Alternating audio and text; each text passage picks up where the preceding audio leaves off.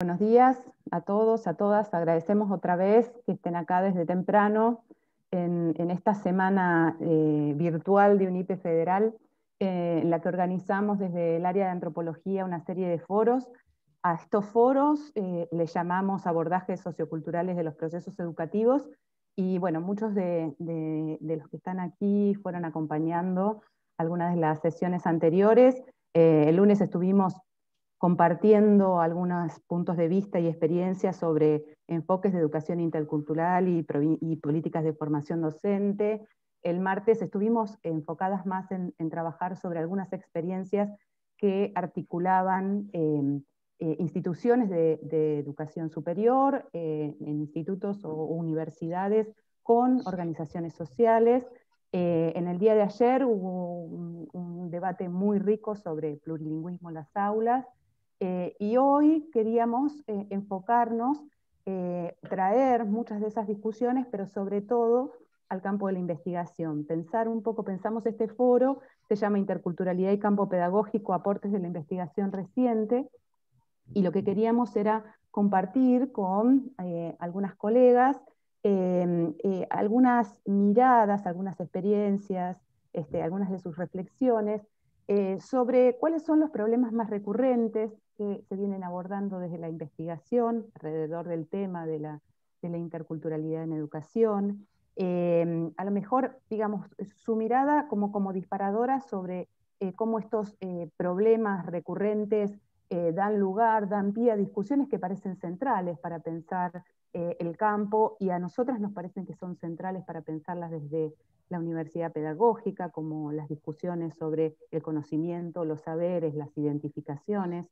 Eh, también, digamos, poníamos sobre la mesa y, verán este, las expositoras eh, que de esto levantan, este, como eh, recogen este guante, sobre también pensar los aportes y los desafíos de los enfoques con los que trabajamos. Este, particularmente, esta es una mesa sobre representada en torno a la investigación etnográfica, así que seguramente habrá algunas reflexiones sobre los aportes y los desafíos de la, de la etnografía. Eh, y también, digamos, nos va a acompañar otra compañera que, se va a sumar un poquito más tarde, eh, que trabaja en el Observatorio de la Educación de, UNIPE, eh, con mucho manejo sobre la estadística educativa, así que ojalá que podamos tener ese contrapunto.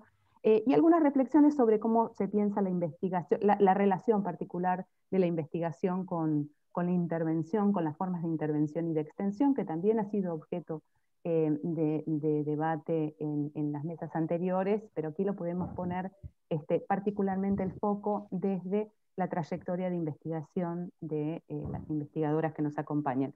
Solamente antes de, darles las palabras, queríamos decirles que estas son preocupaciones que venimos teniendo desde hace algunos años, eh, desde lo que más recientemente se ha conformado como el área de antropología que coordina Laura Monbelo en, en la UNIPE, eh, y que eh, desde más o menos desde hace cinco años, el año 2016, venimos sosteniendo algunos proyectos de investigación que están centrados en estas temáticas, sobre todo de poder eh, discutir la noción de interculturalidad en vínculo con el campo pedagógico. Así que hay algunas líneas de investigación sobre algunos abordajes socioantropológicos de las distintas experiencias formativas, de niños, niñas y jóvenes en distintas tramas educativas, sobre todo con foco en, la provincia de Buenos Aires y en la ciudad de Buenos Aires. Así que, bueno, con esta introducción eh, le paso la palabra a Laura Martínez, que va a ir presentando a nuestras eh, invitadas. Y bueno, eh, parece que lo digo, lo digo siempre, pero realmente siento que es un lujo, que este es un, un panel de lujo eh, y que agradecemos además eh, la aceptación rápida que hemos tenido de las colegas a participar de este espacio. Sí, bueno, yo también aprovecho para darles la bienvenida, agradecerles por estar acá. También hay muchas personas que, que están saludando en el chat y están contando desde dónde están participando, de distintos lugares del país. Este, y, también vienen acompañándonos en las distintas mesas, así que muchas gracias a todos. Y ahora entonces voy a pasar a presentar a la primera expositora, eh, Ana Padauer. Les cuento que Ana es doctora en antropología por la Universidad de Buenos Aires, es investigadora del CONICET y profesora asociada en el Departamento de Ciencias Antropológicas de la UBA. Actualmente investiga sobre la producción de conocimiento en contextos rurales, focalizando en procesos técnicos de la agricultura, la agroindustria y los biomateriales. Ana. Eh, bueno, buenos días a todos y a todas. Este, muchas gracias al eh, área de antropología de UNIPE por, la invitación. Este, eh, preparé una, presentación para, tratar de no extenderme demasiado. Voy a, tratar de compartir a ver si... Díganme ustedes si se ve. Uy, esperen.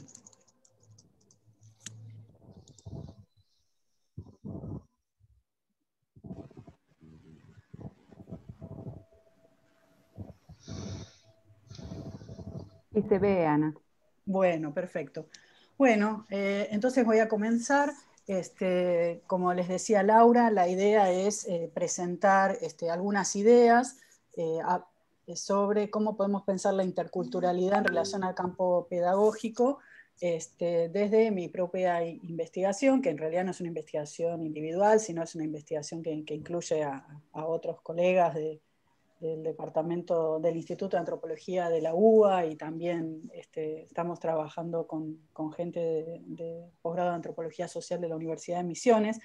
la, la, UNIPE tiene su foco en Buenos Aires, pero ahora nos vamos a ir un poco a, a, otra provincia, pero para poder también dialogar sobre aportes que, que, se pueden hacer desde una mirada más, más federal. Y como les decía, mi interés es trabajar sobre este, cómo se produce conocimiento sobre un objeto particular, eh, que en este caso es eh, la mandioca, eh, es un cultivo de mucha importancia en la provincia de Misiones, que es la principal productora en el país de, este cultivo, es un cultivo que está presente en, todas las, chacras y en toda la población rural de, la provincia de Misiones y, y en el NEA. Eh, ¿Y qué relación hay entre ese conocimiento que se produce en las, en, las, en las, casas, en las chacras, con las escuelas, los organismos técnicos eh, y los distintos colectivos, eh, ya sea comunidades indígenas o este, asociaciones, este, cooperativas, etc. ¿Por qué yo digo que trabajo sobre el cultivo de mandioca desde un enfoque intercultural? Porque por un lado, una de las discusiones que, me parece interesante dar tiene que ver con pensar que eh, saber sobre un cultivo, que además es un cultivo que actualmente, digamos, es utilizado por la agroindustria y, por eh, desarrollos muy modernos de eh, producción de biomateriales, no es exclusivamente un saber experto. Y eso es lo que permite de alguna manera discutir con las aproximaciones muy extendidas en el sentido común de las políticas públicas eh, respecto eh, de las visiones top-down, es decir, la idea de que se produce un conocimiento científico-técnico de alta calidad que debe ser bajado a las comunidades, a las escuelas, etc. Tampoco es eh, necesariamente un saber ancestral inmutable, ¿no? y acá la idea es discutir un poco con las posiciones relativistas más ingenuas. Ah, después me voy a extender un poco, pero la mandioca es un, cultivo de origen indígena, este, entonces eh, de amplia presencia en, las chacras y en las aldeas indígenas, en, particular en misiones de las comunidades vía guaraní, y entonces eh, muchas veces hay una aproximación que supone que hay un conocimiento sobre la mandioca, que es un conocimiento que se tiene que rescatar eh, y difundir tal cual uno lo puede encontrar en esas comunidades. Dando la discusión a estas dos posiciones, lo que yo propongo es que eh, la producción de conocimiento sobre la mandioca es producto de redes de relaciones. Eh, trabajo con la idea de la construcción de sistemas sociotécnicos que son muy heterogéneos en su composición, que el conocimiento que se produce es siempre un conocimiento situado. Acá estamos hablando de la mandioca, pero en general uno lo puede pensar para cualquier objeto de conocimiento, que la innovación y las nuevas eh, ideas eh, sobre cómo se hace algo que implica un conocimiento técnico eh, que se piensa que es altamente calificado, se produce en realidad en la práctica. Y que eh, siempre son resultado de controversias y eso permite discutir un poco, esta es eh, una idea que es una idea que viene de, la antropología de los estudios sociales de la técnica, que es la idea de la caja negra. Eh, es decir, cualquier uso de tecnología parece algo que está totalmente cerrado. Nosotros estamos usando acá una plataforma y no sabemos cómo esa plataforma funciona, por ejemplo, ¿no? Eh, y entonces parece como que eh, no podemos decir nada sobre eso. Y la idea, este, este, eh, esta idea lo que permite es pensar que los problemas técnicos siempre tienen resoluciones alternativas en disputa, que siempre hay resoluciones provisionales de los problemas, y aunque los procesos técnicos parezcan muy estables. bueno, voy a ir un poquito más rápido. Eh, como les decía, elegí trabajar sobre la mandioca porque es un, cultivo de origen indígena. Eh, en Argentina y en la provincia de Misiones eh, se fue desarrollando sobre todo a partir de, digamos, el contacto de la población indígena y los colonos durante las primeras fines del siglo XIX, primeras décadas del siglo XX. Entonces ahí ustedes ven distintos actores que intervienen en la producción de conocimiento, productores de la agricultura familiar, comunidades vía, cooperativas, organismos técnicos, y eh, un organismo estatal que es el clúster de la mandioca misionera, que es como una iniciativa estatal para fomentar justamente este cultivo. Eh, lo que mi, mi, propósito es trabajar con cómo se construyen estas redes sociotécnicas para pensar la inserción de la mandioca en alternativas de desarrollo regional que incluyen sistemas de alta tecnología sin caer en paternalismos ni en tradiciones congeladas tratando de construir espacios interdisciplinarios e interinstitucionales para trabajar con la mandioca como alimento, como producto agroindustrial y como biomaterial. Eh, el enfoque etnográfico sobre la interculturalidad lo que me, permite es reconstruir de alguna manera las relaciones sociohistóricas globales y locales en torno al cultivo. la mandioca eh, se expandió por todas las zonas tropicales del mundo, ahí ustedes ven la zona tradicional del cultivo en Misiones, eh, ven el uso culinario que se le da en comunidades. Eh, las fotos que van a ver son eh, prácticamente todas de mi trabajo de campo. también ven la mandioca preparada para, con una, serie de, procesos técnicos de parafinado para, la venta en fresco a, mayores distancias que el consumo local. Y ven algunos ensayos, digamos, de uso de maquinaria agrícola para el cultivo. Eh, también eh, la etnografía, digamos, con un enfoque multisituado, lo que permite es trabajar con este cultivo. ¿Cómo? Perdón. Con este cultivo eh, que tiene un carácter multipropósito. Entonces, ustedes ven, por ejemplo, en la foto la tradicional chipá o chipa, como dicen en Misiones, el reviro, que es una, una comida popular tradicional en base a mandioca. ven cómo se envasa el almidón en, una pequeña empresa, digamos, eh, familiar eh, de, una de las de la zona tradicional del cultivo. Ven una, una feria gourmet que se desarrolló en, en, Posadas hace un par de años, que tenía como foco lo que ellos llamaron la raíz madre, es decir, a la mandioca, todas las preparaciones que se hacen a partir de allí, eh, porque digamos, la mandioca tiene un interés culinario no solamente porque, digamos, permite desarrollar esta, esta, cocina gourmet de, alta calidad, sino que también se pueden elaborar este, harinas y almidones que son aptas para celíacos. Y lo que ven arriba de todo es la foto de una investigadora de, eh, del laboratorio de polímeros de la Facultad de Ciencias Exactas de la UBA, que están ensayando con estos mismos almidones la elaboración de bioplásticos. Estos, digamos, tienen que ver con situaciones o procesos técnicos de la mandioca que fui recabando en mi trabajo de campo. Eh, uy, estoy re mal de tiempo. Bueno, de alguna manera acá ven fotos sobre cómo eh, nosotros trabajamos sistematizando el conocimiento que se produce en las chacras, en las aldeas, en las visitas de los técnicos para, para, para intervenir sobre el proceso agronómico del cultivo de mandioca este, que es un cultivo que se hace a partir de la clonación doméstica, es decir, a partir de la reproducción a través de esquejes. Entonces tiene un montón de, cuestiones técnicas que tienen formas reconocidas como tradicionales de hacer, pero también los organismos técnicos, por ejemplo, hay un técnico del INTA, están trabajando hace mucho tiempo sobre eso.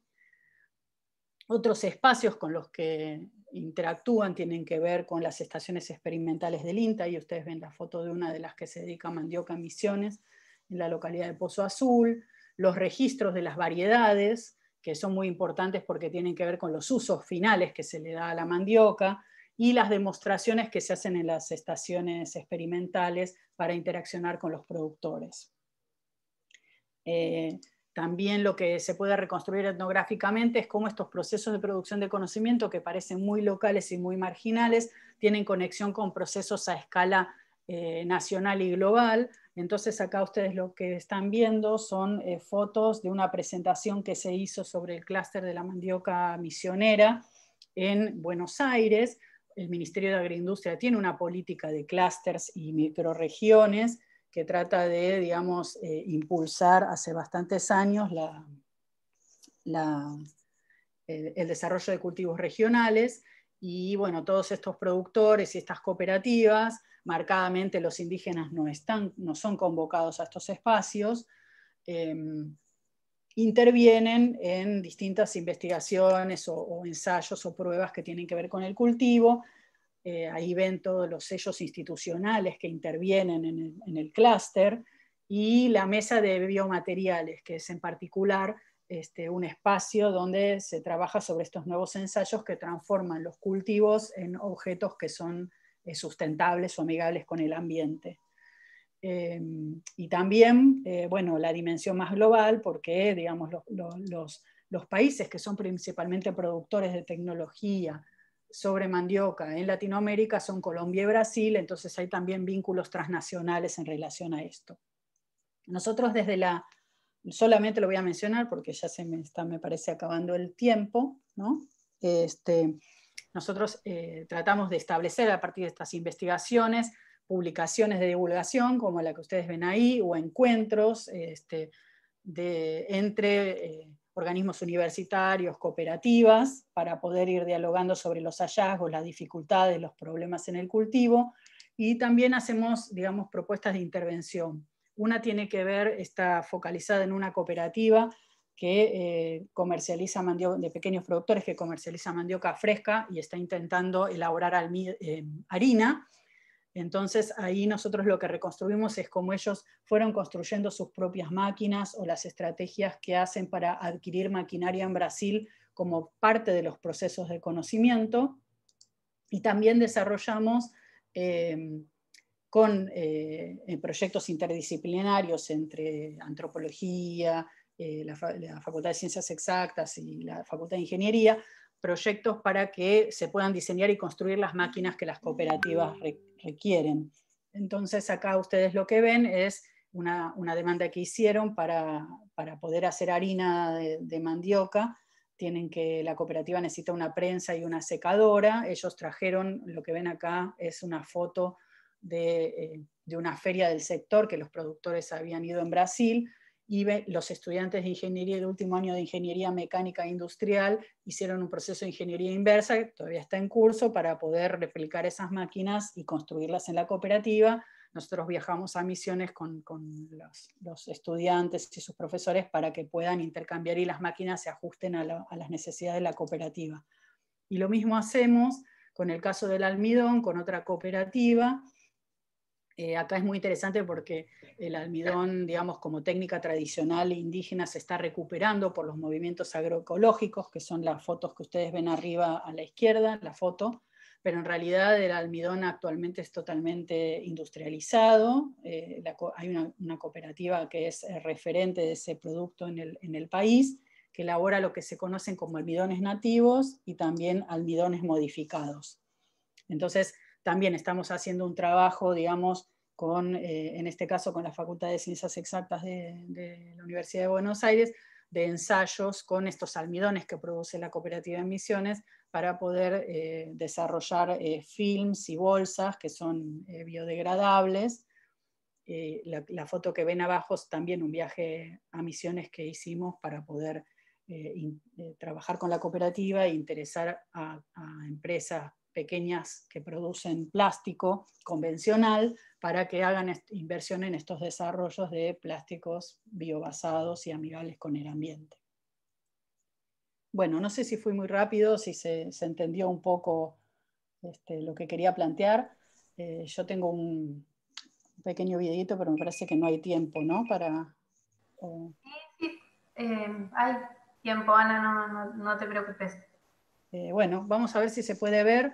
digamos, esta animación que es en realidad un preestreno porque todavía no, lo estamos circulando, tiene que ver con estos proyectos interdisciplinarios eh, de distintos equipos de, investigación de, ciencias sociales y, de las facultades de ingeniería, de agronomía, de exactas de la UBA, para trabajar con este, cooperativas de misiones en desarrollos eh, de la mandioca, sobre todo pensando en eh, biomateriales y, bueno, hay varias animaciones que se van a, son cuatro animaciones más, además de esta que les voy a mostrar, que tienen que ver con desarrollos específicos, por ejemplo, matrices para contener fertilizantes orgánicos, este, bueno, este, distintas, distintos tipos de envases de distintos equipos de investigación, pero eh, el que yo les, quiero mostrar ahora eh, eh, tiene más que ver con esta dimensión, si se quiere, más social o antropológica, que por, ahí me parece que puede graficar un poco más eh, por qué estamos mirando desde la antropología el cultivo de mandioca y por qué pensamos que, tiene que tener, eh, tenemos que tener una mirada intercultural en relación a, este cultivo. Vamos a ver si se, ve y se escucha, ustedes me dirán. Ah, bueno, no sé por qué, no se ve.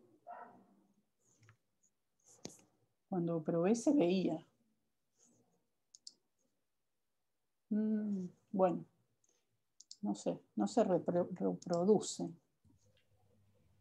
¿Puedo probar de reproducir? ¿Sí? No, no, que ahí quedó como imagen. Sí, capaz que lo, puedo reproducir directamente. Sí, sí, sí.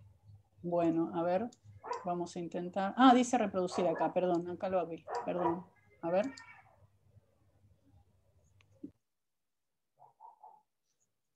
Pero no pasa nada.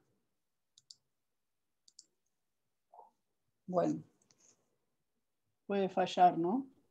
No, porque es reproducir la, diapositiva, la presentación del Power. Si lo tenés en la ah, computadora, lo puedes pasar directo desde ahí. Ah, perfecto. A ver, un minutito. Creo que es este, a ver. Sí.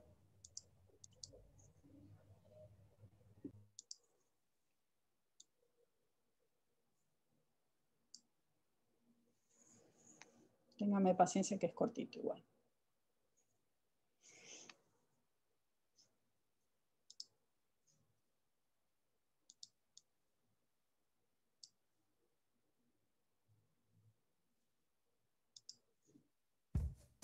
Ocho mil años de compañía.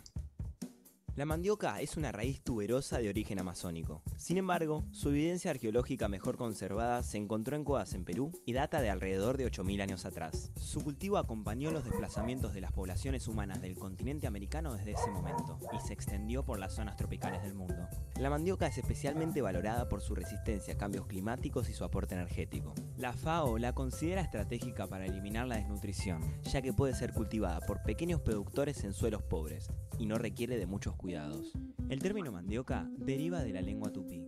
Con su expansión mundial fue recibiendo distintos nombres, entre ellos los científicos. En los distintos lugares donde se cultiva, se utilizan alimentos preparados mediante cocciones simples, pero también se elaboran harinas y almidones comestibles mediante técnicas que han ido cambiando a lo largo de la historia. El almidón de mandioca tiene una larga tradición culinaria, pero además se puede modificar para utilizarlo en la industria alimentaria, textil y papelera.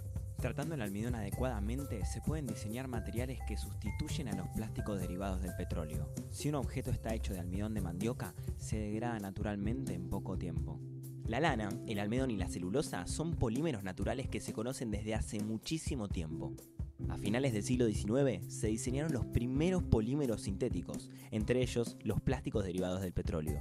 En su momento parecieron un avance significativo, pero hoy sabemos que el daño ambiental es enorme. Para hacer del almidón de mandioca un objeto con características similares al plástico pero totalmente degradable, hay que combinarlo con otros productos a ciertas temperaturas y luego moldearlo. Esta raíz ha sido por siglos alimento humano y se encuentra en tradiciones locales de todo el planeta. En los últimos años también ha devenido objeto útil. Algunas personas consideran que la mandioca es valiosa porque permite producir alimentos a bajo costo. Otros valoran la fabricación de objetos que no causen daños ambientales. Hoy, como hace 8.000 años, la mandioca nos sigue acompañando.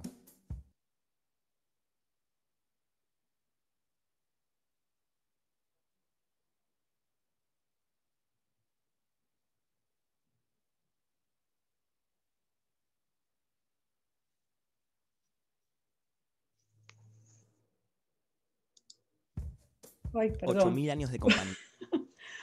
bueno, listo. Eh, era eso un poco, me parecía que la animación sintetizaba un poco por qué, estábamos mirando este cultivo y, desde qué enfoque. Eh, gracias y perdón por la complicación al final.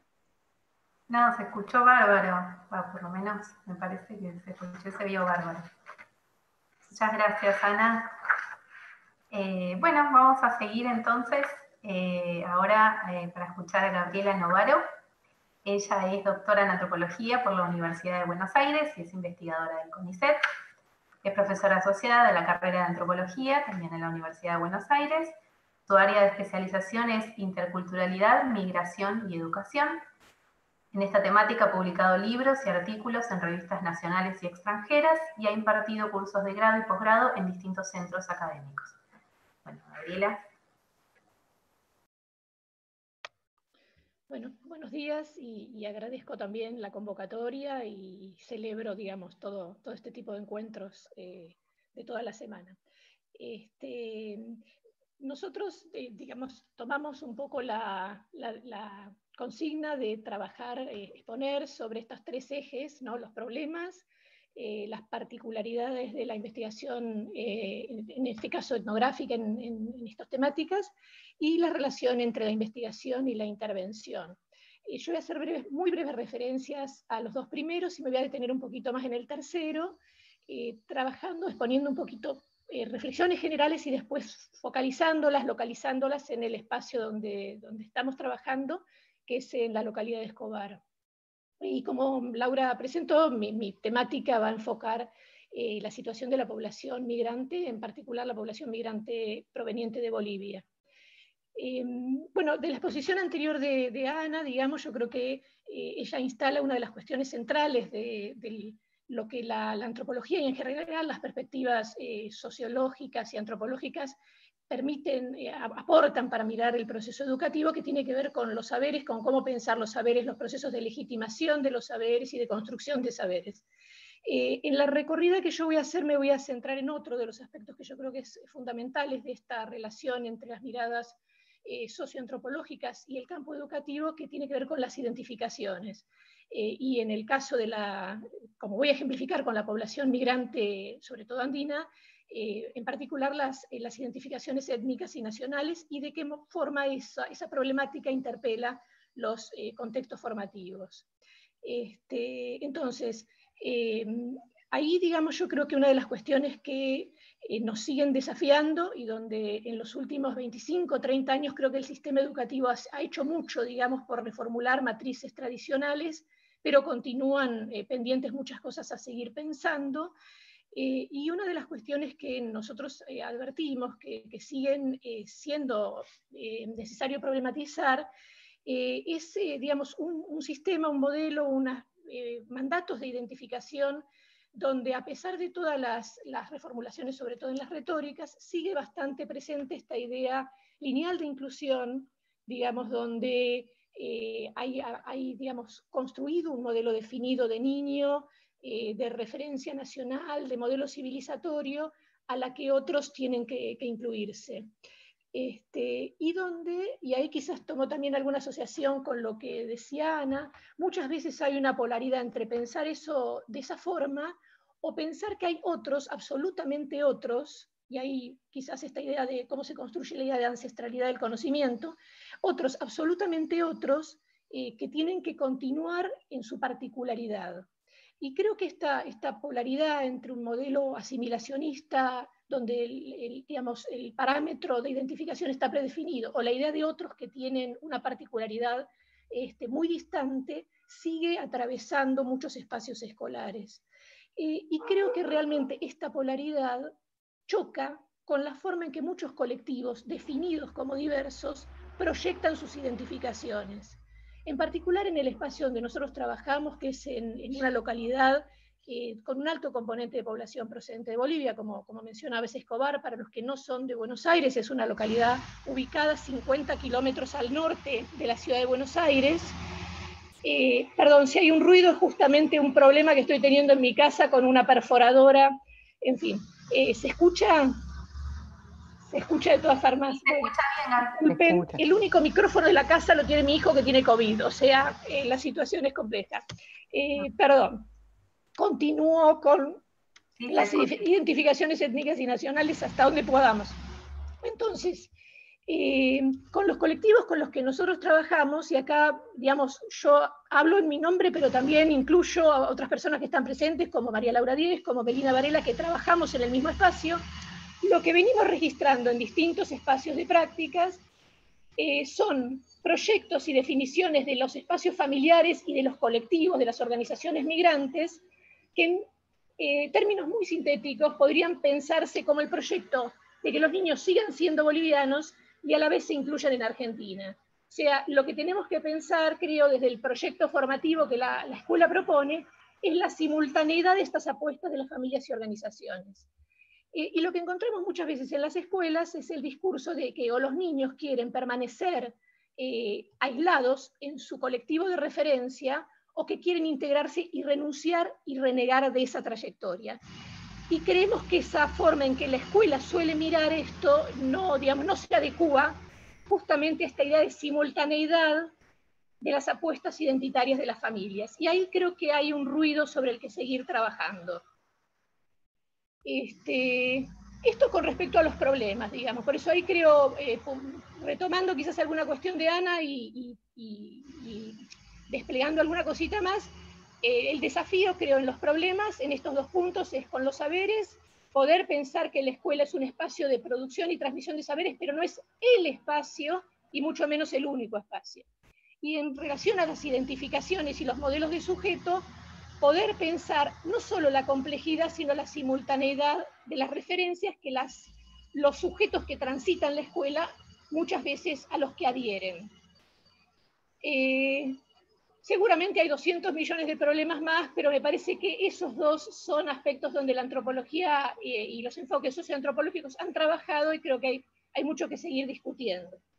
Con respecto a, las cuestiones metodológicas de los trabajos y lo que en, este caso particular nuestro enfoque, que es el histórico etnográfico, aporta, digamos, ahí también habría muchísimas cuestiones para, mencionar. Eh, pero creo que una primera que se vincula con lo anterior es cómo el trabajo prolongado en un territorio, en localidades, nos permite relevar y pensar contradicciones o aparentes contradicciones. Para ejemplificar con lo que venía mencionando, esto de sujetos que al mismo tiempo quieren afirmarse en una distintividad como colectivo e integrarse en un modelo de nación eh, que es distinto. O sea, esto se presenta como una contradicción pero nosotros tenemos que poder entender los sentidos de esa contradicción y en las escuelas esto se tiene que poder transitar.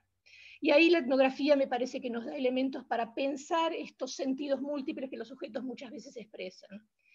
Hay otra cuestión con, me parece, la etnografía y cómo la etnografía discute muchas veces con las políticas y los espacios de definición de, políticas, que es el hecho de que la etnografía releva cosas que incomodan releva situaciones que, eh, digamos, releva que las normativas no siempre se traducen automáticamente en más derechos. Eh, releva que los colectivos a veces expresan demandas al, por ejemplo, al sistema educativo que no son las que desde un discurso políticamente correcto quisiéramos escuchar.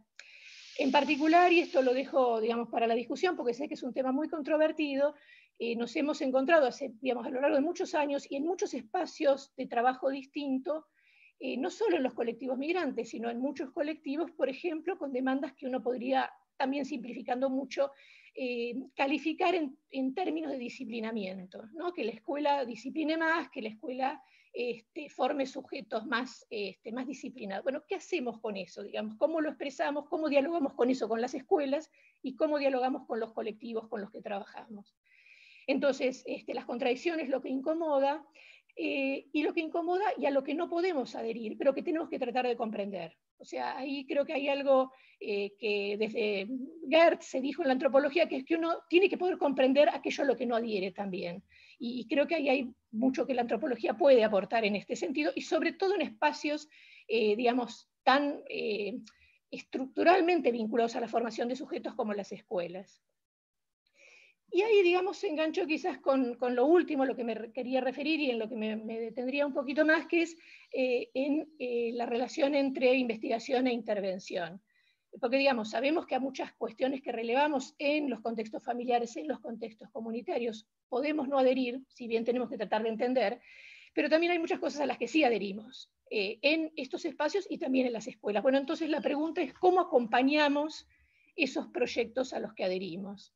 Y aquí yo quiero, en realidad, lo que quisiera sobre todo, eh, con lo que quisiera ordenar un poco este recorrido es que yo creo que se ha dicho bastante sobre cómo la investigación puede aportar a los espacios este, sociales, pero creo que esta relación hay que pensarla en términos, digamos, mucho más de ida y vuelta, o sea, los proyectos de intervención, los momentos en que nos involucramos de una manera distinta a la investigación clásica con los lugares donde trabajamos, aportan mucho a la investigación. O sea, eh, me parece que esto tiene que ser pensado en una ida y vuelta y una relación más dialógica y quizá más dialéctica, ¿no? Eh, y, que creo que eso nos corre un poco esta cuestión unidireccional de que somos los investigadores los que intervenimos. No, la intervención nos modifica como investigadores, nos posiciona en una manera distinta. Eh, y hay quizás algunas ejemplificaciones, algunas situaciones puntuales en las que estamos, estuvimos trabajando y seguimos trabajando como equipo, tienen que ver, por ejemplo, con el acompañamiento de situaciones. Las escolares nos han resultado, por lo menos a mí, esto hablo por mí, eh, digamos, eh, siento como que después de muchos años de trabajar en contextos eh, escolares, hemos tenido como manejado los estilos, las formas de dialogar sobre nuestras investigaciones con los sujetos en, en, términos más de, bueno, yo hice esto y quisiera ver para qué sirve esto que hice, que no es solo un paper académico, sino que es eh, digamos, un relevamiento de una situación que he podido ver en la escuela y cómo, cómo transmito eso a la escuela, cómo discuto con eso y cómo eh, establezco ese diálogo. Creo que ahí hay cuestiones que hemos podido transitar, eh, desde eso a las cosas más puntuales, como el acompañamiento de secuencias de clase, de organización de actos, digamos, ahí creo que hay algo que hemos podido sostener conociendo más los códigos. Ha sido mucho más desafiante el trabajo en intervenciones con las familias y sobre todo con las organizaciones migrantes. Y a la vez, bueno, es algo que en los últimos años nos ha dado muchísimas gratificaciones. Y creo que también acá hablo no solo por mí, sino por otras personas presentes. Eh, pero también se presentan situaciones que no son, no son para nada sencillas. Yo creo que hay que, digamos, eh, poner muchas dudas sobre los efectos de lo que hacemos cuando a veces creemos que lo que hacemos eh, es maravilloso, ¿no? En este sentido, ¿no? Entonces, en principio hay muchas dudas sobre qué pasa cuando nos encontramos con eh, iniciativas educativas de los colectivos, vuelvo a lo anterior, a los que por ahí no adherimos. Por ejemplo, en el espacio donde trabajamos, que es en, como decía, en Escobar y con la colectividad boliviana de Escobar, eh, hay algo que, justamente es como muy claro para plantear estas preguntas, que son los proyectos que hace muchos años la colectividad expresa o algunas personas de la colectividad expresan por crear una escuela propia, una escuela boliviana en el barrio. Ahí yo creo que ahí, digamos, esto nos desafía profundamente a pensar eh, en qué medida estas experiencias son situaciones que pueden afirmar lo colectivo, eh, dar lugar a que en espacios educativos escolares alternativos expresen cosas que en las escuelas tradicionales parecen no tener mucho lugar, y en qué medida estas iniciativas pueden terminar siendo experiencias educativas fragmentadas, más separadas del sistema común y en ese sentido poder eh, ser una forma de reforzar la desigualdad y la exclusión. Entonces, ahí creo que eh, acompañamos o no acompañamos estas iniciativas. En todo caso, creo que todo el tiempo nos tenemos que preguntar por el sentido de ellas eh, y no ser ingenuos, digamos, y, y, ponerlas absolutamente en contexto. en fin, bueno, pero, digamos, otra de las situaciones donde eh, también eh, María Laura, Melina, que va a hablar a, continuación, están eh, también involucradas y que nos ha dado mucho gusto sostener en los últimos dos años, es la experiencia de mantener un programa de radio en la colectividad boliviana sobre educación. Y ahí, digamos, creo que eh, la, experiencia esta, que, bueno, se viene transmitiendo en el 2019, en el 2020, eh, nos, ha, nos, ha, puesto en una situación de eh, sostener un espacio que por lo menos en nuestras intenciones, no sabemos si lo logra o no, pero en nuestras intenciones se plantea ser un espacio donde voces que no dialogan demasiado, como referentes de las organizaciones de migrantes, familiares, jóvenes migrantes o descendientes de migrantes y, actores educativos, de los niveles más diversos, digamos, desde el referente provincial eh, del sistema educativo de Escobar hasta este, los directores, los docentes, eh, digamos, eh, expresan sus voces y se ponen a dialogar. y bueno, ha habido, digamos, muchas cuestiones para, en todo caso, conversar después, si hay tiempo o no, no sé, sobre, bueno, cómo se, cómo armamos el estilo para que eso sea posible, cómo definimos de qué temas podemos hablar y de qué temas no podemos hablar, cómo no dejamos de cuestionar ciertas cosas, pero que esos cuestionamientos se transformen, eh, digamos, en propuestas de, digamos, para, transitar situaciones de mucho desencuentro. Y algo que, eh, sobre lo que estamos dialogando ahora y produciendo algún material es, digamos, cómo el espacio de la radio ha dado lugar para que en, esa, en ese lugar eh, se hable de algo que es fundamental y que en las escuelas del barrio se transita poquísimo, que es sujetos que han transitado parte de su escolaridad en Bolivia y parte en Argentina, y que no parecen haber encontrado en la escuela un espacio para que esto se exprese y se trabaje. Y que sin duda esta cuestión atraviesa las experiencias escolares en Argentina de los sujetos, el recuerdo de cómo fue su escuela en Bolivia. Entonces, eh, digamos, ahí eh, realmente creo que, estamos sintiendo, por lo menos yo estoy sintiendo, y creo que esto lo comparto, que, estamos produciendo algo muy interesante, creo, ¿no? Eh, y también sentimos lo que, lo que yo mencionaba al principio, eh, digamos que esto no es que nosotros como investigadores estamos dando algo a la colectividad. En realidad esta experiencia nos estamos nutriendo profundamente como investigadores también. Esta experiencia nos ha llevado a replantearnos las preguntas que nos hacíamos, ha habilitado formas de presencia en la localidad que antes eran bastante impensadas, o sea, los espacios a los que podemos acceder no son los mismos antes y después del programa, y bueno, nos plantea muchísimas preguntas sobre cómo seguir transitando eso. Así que bueno, eh, esto era más o menos lo que, lo que quería compartir. Disculpen los ruidos del momento y, nada, la, desprolijidad sí, sí estuvo un poco desconcentrada. Gracias. No, se escuchó perfecto. Gabriela, muchas gracias. Eh, bueno, vamos a seguir. Entonces, eh, ahora vamos a escuchar a Melina Varela. Ella es licenciada y profesora en Ciencias Antropológicas por la Universidad de Buenos Aires es doctoranda en antropología y actualmente becaria doctoral de CONICET. Su proyecto de investigación aborda las experiencias formativas y de transmisión intergeneracional en contextos migratorios en los primeros años de la niñez. Bueno, te escuchamos. Bueno, ¿qué tal? Muchas gracias. Agradezco la invitación a Laura Mombelo, María Laura Díez, Laura Martínez. Eh, bueno, como, como me presentó Laura, eh, soy antropóloga y estoy haciendo el doctorado y también soy docente de nivel inicial.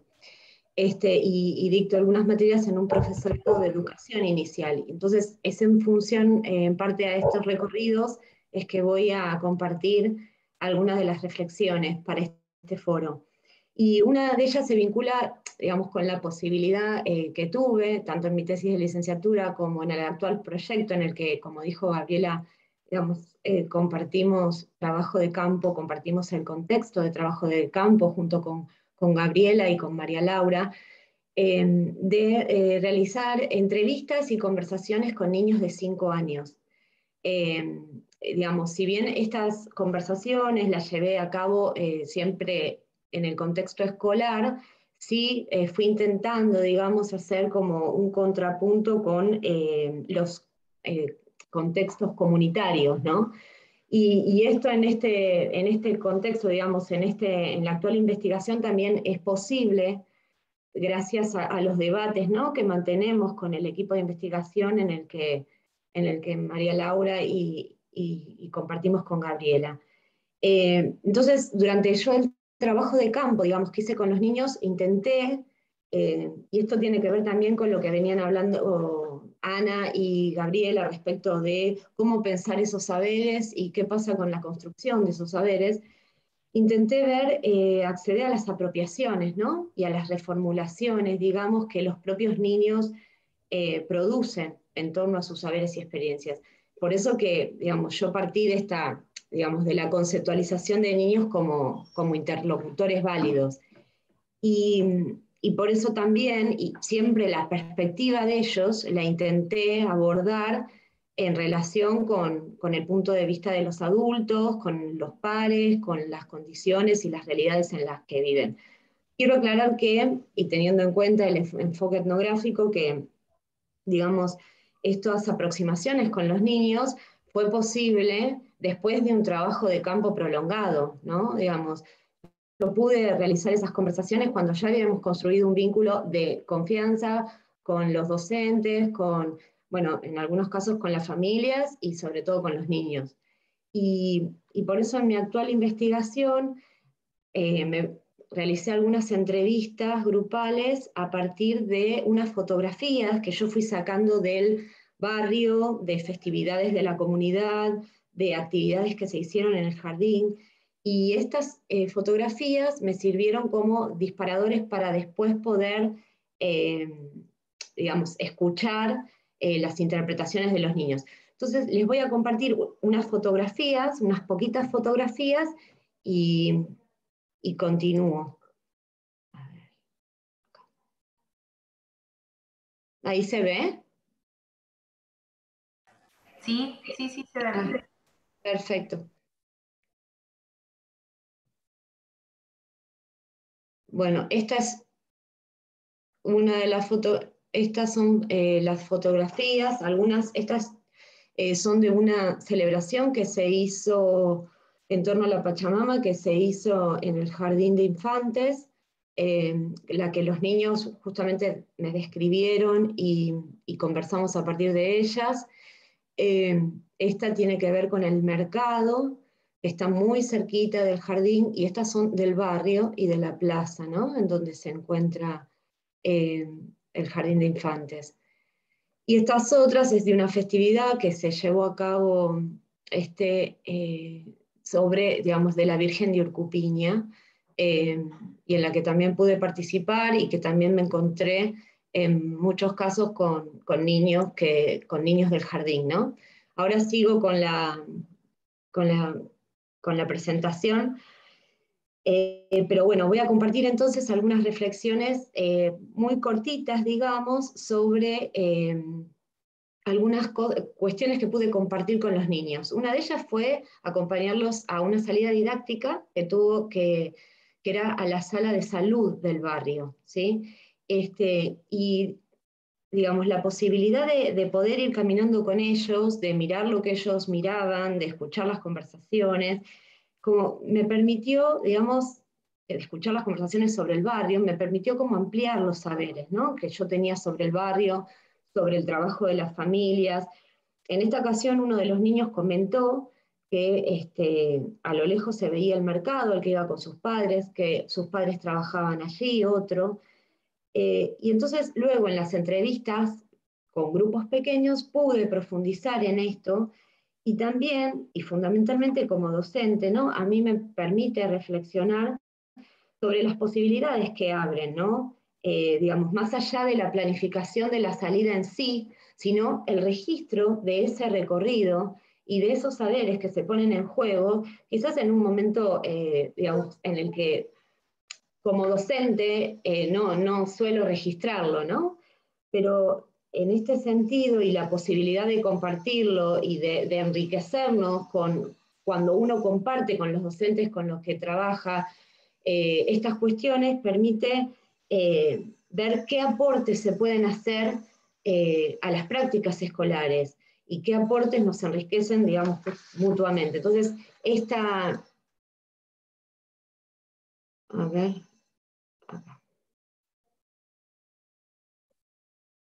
esta que les muestro a continuación es la salida, el recorrido hacia la sala de salud este, en el que yo pude acompañar a los niños. Otra de, digamos, de las actividades que pudimos planificar también con las docentes y eh, con integrantes de otro equipo de investigación eh, que me ayudaron muy amablemente a planificar una actividad y que eh, se llama Ana Carolina Hedge y Noelia Enriz, fue una actividad en torno a las lenguas. ¿sí? Eh, entonces, digamos, previamente, digamos, a partir de conversaciones que yo tuve con, los niños, pude, supe que muchos hablaban quechua. Y entonces esto permitió digamos, realizar esta actividad en, presencia de los docentes y con los docentes, y digamos, hacer visibles ¿no? esos conocimientos y la posibilidad de que esto abra ¿no? a nuevas propuestas. Eh, acá estamos nosotros en la sala y bueno, se realizó un memo test y otras actividades. Y bueno, y por último, eh, en, en, en una ocasión en la sala, digamos, uno de los niños se encontraba jugando con figuras geométricas. La propuesta era jugar con figuras geométricas, armando eh, distintas figuras y, después las debían pegar en el cuaderno, ¿no? Como quisieran. Y cuando me pongo a conversar en las mesas con uno de los niños, me comenta que eh, estaba armando un mapa, ¿no? yo le pregunté qué era, qué era, para qué sirve, digamos, qué es un mapa, y me dijo, es cuando estás perdido. Y fui fue armando las manzanas, ¿no? Em, y me describió dónde vivía él, dónde estaba el jardín y que había una plaza, y acá se ve, digamos, esta es la figura que, que me señaló como la plaza, pero que últimamente no iba a la plaza porque se estaba portando mal. Em, digamos, y con esto, es decir, también me, me, llevó a reflexionar sobre todos los sentidos que encierra quizás una simple actividad con figuras geométricas y cómo la posibilidad de compartir el espacio con los docentes y, este, y conversar sobre lo que veo y lo que ellas ven, digamos, puede, permite, digamos, eh, entender también lo que los niños expresan, cómo lo expresan, también en donde se, está dando cuenta, digamos, de eh, inquietudes, de preocupaciones, de intereses. Eh, entonces, bueno, estas son las, tres pequeñas situaciones que quería traer y también destacar eh, algo que también comentó Gabriela recién hacia el final, es eh, la posibilidad de que, bueno, esta es una mirada, ¿no? Es una mirada que, también tiene que ver con un, tiempo prolongado en el espacio, una determinada construcción de vínculos con, las personas con las que uno trabaja, eh, y que intenta acompañar, ¿no? Intenta acompañar y también poner el diálogo, que, de qué manera se pueden brindar herramientas y recibir, digamos, que nos enriquezcan mutuamente. Eso es todo. Bueno, muchas gracias Melina. Y ahora vamos a pasar a la próxima expositora, Cecilia Sleiman. Ella es licenciada en Ciencia Política por la Universidad de Buenos Aires y magíster en Ciencias Sociales con orientación en Educación de Flaxo es investigadora y docente en UNIPE, es coordinadora de producciones en el Observatorio Educativo de UNIPE, que es un área enfocada en construir y utilizar información basada en datos estadísticos en las investigaciones del campo de la educación. Actualmente se desempeña como subsecretaria de Políticas en el Ministerio de Ciencia. Bueno, Cecilia, te. Hola, ¿qué tal? Buenos días a todos y a todas perdón que recién me sumo y no tuve oportunidad de, escucharlos antes, tenía justo una reunión eh, anterior y por eso no, me pude conectar con, antelación, con mayor antelación. Pero nada, felicito también a las organizadoras de, de este espacio, de este foro, y mm, espero que estén disfrutando quienes estén acá de toda la semana de UNIPE Federal que realmente ha tenido una gran convocatoria. Em, mi foco en el día de hoy va a ser bien distinto de, lo que presentaron las compañeras, porque em, justamente me quiero centrar como en, otra, en otro enfoque, en otra metodología de, abordaje del estudio de, de este tipo de, poblaciones, de situaciones, de, los temas vinculados a la, educación intercultural, al, tema del bilingüismo, del uso de las distintas lenguas, a las prácticas escolares con la diversidad o con la alteridad, como digamos las distintas formas en que, en que esto se, aborda eh, en las, disciplinas que históricamente han trabajado estas temáticas que quizás eh, son más vinculadas a la historia, a la antropología. Y la primera pregunta que yo quiero eh, traerles es por qué hablar de datos y de estadísticas en, este, en este, campo, en este subcampo de, la educación que preponderantemente trabaja con métodos etnográficos y, cualitativos. Primero, eh, Laura, te quiero preguntar cuánto tiempo dispongo porque no estoy tan segura. Eh, más o menos entre 15 y 20 minutos. Buenísimo, estoy bien. ¿Querés que eh, minutos antes? Dale, dale. Eh, también hacernos la pregunta de qué pueden aportar los datos más duros, ¿no?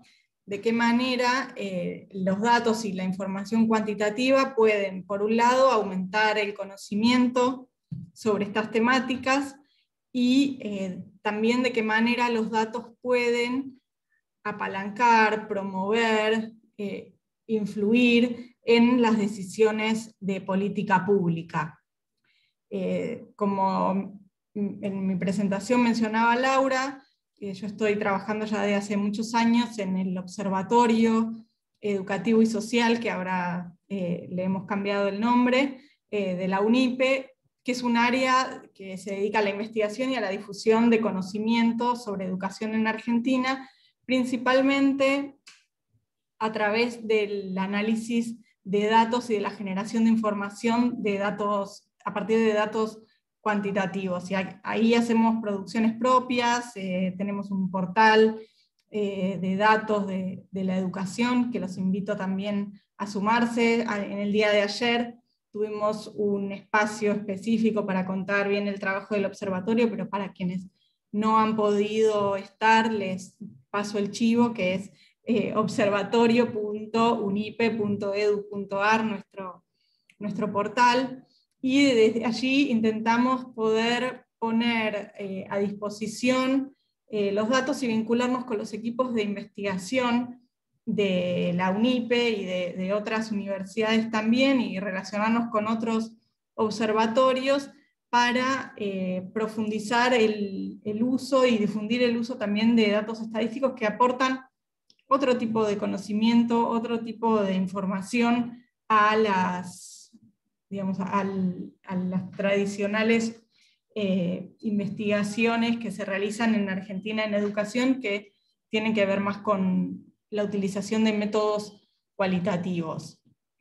Em, y, o sea, a ver, porque quiero, no quiero, eh, quiero hacer como una pequeña distinción entre qué son esas cosas que observan los científicos eh, de ciencias sociales y humanas. Los datos eh, cuantitativos también constituyen una, prueba sobre la, que, sobre la que se basa la investigación. Es también un objeto físico observable, o sea, también es una tilde o un número que se completa en un formulario por una persona eh, o, en algún tipo de cuestionario. Y estos datos se suman a muchos otros que generan agregadamente pruebas eh, que van a ser ejemplos para sustentar las ideas o, bueno, o los sistemas de, ideas, las teorías. ¿no? Y en el caso de, los estudiantes de, de, IB, de los estudiantes eh, de, origen indígena o migrante, eh, la información o los datos cuantitativos con los que contamos en el país no son tan vastos. Y esta falta de información, esta falta de, datos en, la estadística nacional, forma parte también de la falta de reconocimiento que han tenido eh, a lo largo de la historia estas poblaciones. Entonces, estas eh, clasificaciones indeterminadas, como a veces se las se las denomina estos errores de medición. Ahora yo les quiero compartir algunos datos eh, de, un, de una producción que hicimos en el 2019 desde el observatorio, donde vamos a ver eh, diferencias entre cómo el censo del 2010 cuenta, contabiliza a esta población, incluso a la población en edad escolar, y de qué manera la estadística educativa, aquella que recoge el Ministerio de Educación, eh, eh, tiene una diferencia muy, muy grande, las cuenta de, otra manera, mucho más eh, acotada, y la apuesta también por construir y mejorar esas bases de datos y poder pensar de qué manera se pregunta cuáles son las demandas, eh, de qué manera se cuentan, ¿no? porque nosotros también contamos eh, a los estudiantes, a los docentes, a las escuelas, eh, la cantidad de, horas, de materias, la jornada, todas esas cosas que se contabilizan, también visibilizan ciertas problemáticas. Y en la medida que desde el Estado, desde las políticas, eso no se cuente de la mejor manera posible, eh, también abona a esta falta de reconocimiento, por lo menos, y a la falta de acceso a derechos y a la falta de, nuevas políticas eh, que puedan ayudar a pensar eh, las problemáticas, a, satisfacer ciertas demandas. Em, entonces, yo creo que ahora les voy a, les voy a comentar estos datos que les, que les decía, pero em, mi, apuesta o la apuesta por la utilización de los datos es también por una, por una situación, como se dice, en, bueno, en ciencia política es muy famosa la teoría de los juegos y hay ciertas estrategias que se denominan de suma no cero o win-win, donde todos ganan algo en una negociación, eh, que es que en la medida en que las investigaciones utilizan o hagan más uso de los datos estadísticos, estos también van a tender a ser mejores, van a tender a preguntar y responder mejor, tanto para los fines políticos o estatales como para aquellos de la investigación.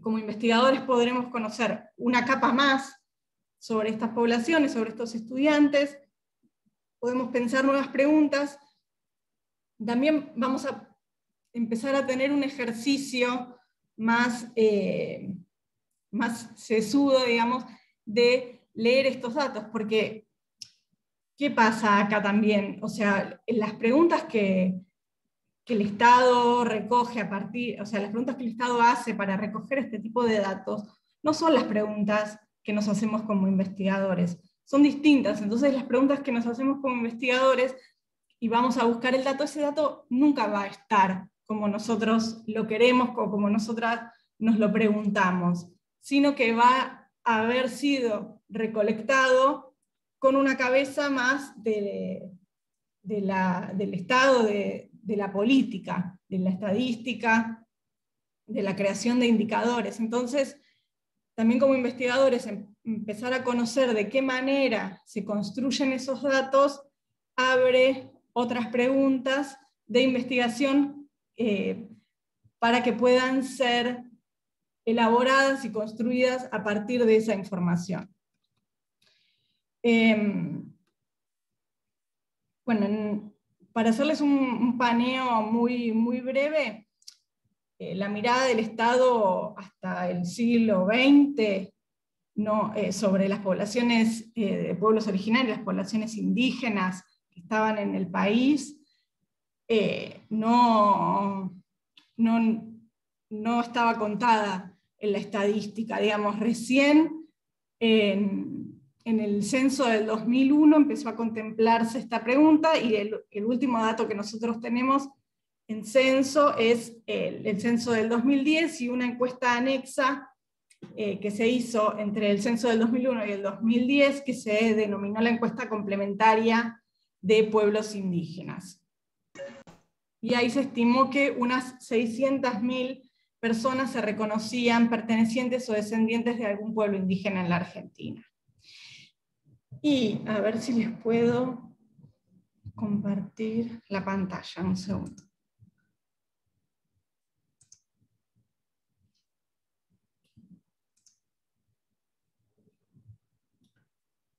¿Ustedes ven ahí mi pantalla? Sí, sí, sí. sí. Bueno, ah, lo voy a poner como presentación. ¿Ahí se ve bien? Sí. sí gracias. Eh, bueno, acá este es el censo del 2010, donde se visibilizó casi un millón de personas que se reconocían como pertenecientes o descendientes a pueblos indígenas, representando el 2,4 de eh, la población total.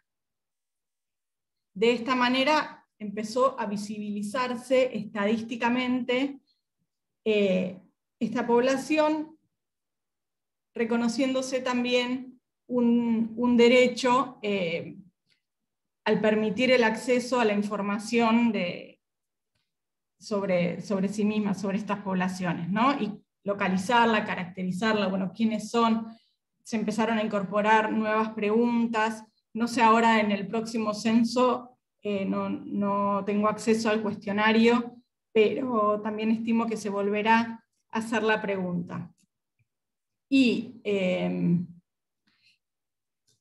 en cuanto nos empezamos a, meter un poco en, las distintas desigualdades, nosotros en el observatorio también nos planteamos la mirada a partir de, la desigualdad, ¿no? O sea, poder pensar, bueno, cierta, cierta población, o la población total, o la población que, accede que, o que está en edad eh, escolar, cuántos de ellos van a la escuela, cuántos de ellos em, son todavía, están por fuera del sistema, cuál es la tasa de, analfabetismo, son las mujeres o son los varones quienes acceden a mayor o menor eh, educación. Entonces, pensando en, algunos ejes de, la desigualdad, en este caso el del analfabetismo, vemos que en muchas provincias están por, eh, están, eh, perdón, siempre están las poblaciones originarias por encima de, la tasa de, analfabetismo del país, que a nivel país es del 1,9, en la población indígena es del 3,7 el promedio. ¿sí? Vemos que acá de Santa Cruz hacia toda esta fila, todos están por encima del promedio nacional. Y el nivel de analfabetismo es superior entre las mujeres, que es el 4,2, que entre los varones. Y este es un, gráfico que nos, eh, que nos refleja la población indígena de 4 a 17 años, o sea, la población que estaría en eh, condición de estar en la escuela, ¿sí? según el censo también, y según la jurisdicción. Cecilia. sí. Perdón, solamente para avisarte que quedaban unos 5 minutitos. Bien. Bueno, esta es la población que, que está en la escuela y acá hay algo que ya, o sea, a ver, quiero... Eh, perdón, ¿eh? Bueno, en este cuadro lo que podemos ver es que, así como también en la tasa, de analfabetismo era mayor en las poblaciones indígenas, el acceso a la escuela y sobre todo a la educación secundaria es mucho menor que la población general del país, si hablamos de eh, alumnos, alumnas indígenas o hablantes de lenguas indígenas. Tanto en jardín vemos que eh, son pocos, son 713 los niños de, para el año 2016 en el relevamiento. Aquellos que asisten al jardín son cerca de 60.000 los que van al primario y son cerca de 25.000 aquellos que van a la secundaria. Es decir, y, si hablamos en términos de, terminalidad de la secundaria, de aquellos que egresan, eh, ustedes deben conocer o probablemente conozcan el número del que el 50% de los chicos egresan en tiempo y forma de la, de la, escuela secundaria, en el caso de las poblaciones indígenas o hablantes de lenguas indígenas, este número es el 14%. A su vez, asisten en su mayor parte a, escuelas eh, de gestión estatal, cercano al, eh, al 96%, y existe una alta concentración de estudiantes registrados de, habla indígena o de origen indígena en eh, la ruralidad. Sí, de todas maneras, haber empezado al reconocimiento y también el establecimiento de la modalidad de educación intercultural, intercultural bilingüe dentro del Ministerio de Educación generó algunas, algunos avances que no, no pueden decirse que, que reviertan ninguna tendencia a la invisibilización o, a... Perdón, voy a dejar de compartir.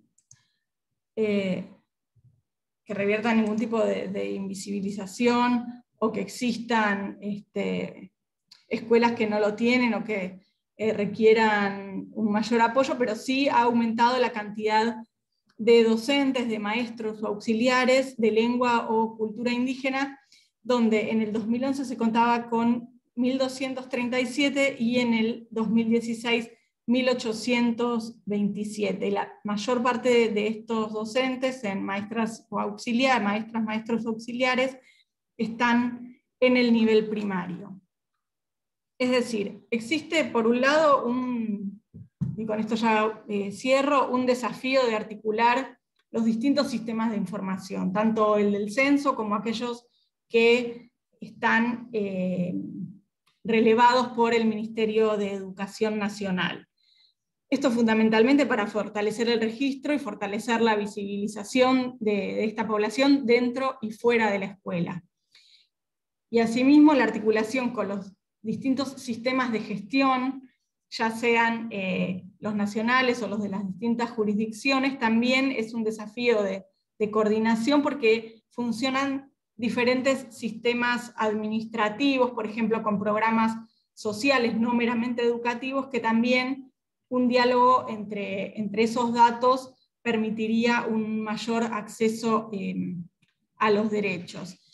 Y creemos que, por supuesto, esta mayor visibilización, este mayor reconocimiento, no solo en cuanto a estudiantes, sino principalmente como estudiantes indígenas con con demandas y, necesidades y problemáticas específicas, también contribuyen a la inclusión social y educativa y a la función eh, integradora que esperamos que, tenga eh, una escuela que no solamente eh, baje, digamos, de cuestiones mainstream, sino que también pueda contemplar a, las, a las diversidades. Así que bueno, la participación de tanto los investigadores como los actores estatales son fundamentales en el impulso y el mejoramiento de, esta, eh, de este registro y de esta creación y construcción de los datos para promover un mayor cumplimiento de derechos. Bueno, y dejo acá. Muchas gracias. Bueno, bueno muchísimas gracias a las cuatro. Eh, expositoras, la verdad que, bueno, cada una tomó, me parece, aspectos este, fundamentales para pensar eh, los aportes del campo de la investigación eh, a nuestro eje, a, la temática que nos va convocando.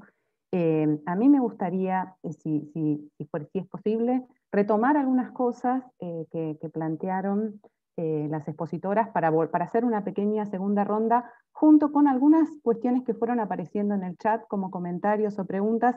Seguramente se me va a escapar alguna y, eh, digamos, allí está disponible. Laura eh, me va indicando también, Laura, Martínez, y si alguien quiere tomar la palabra, por supuesto que creo que tenemos, tenemos un rato como para que eso también sea posible.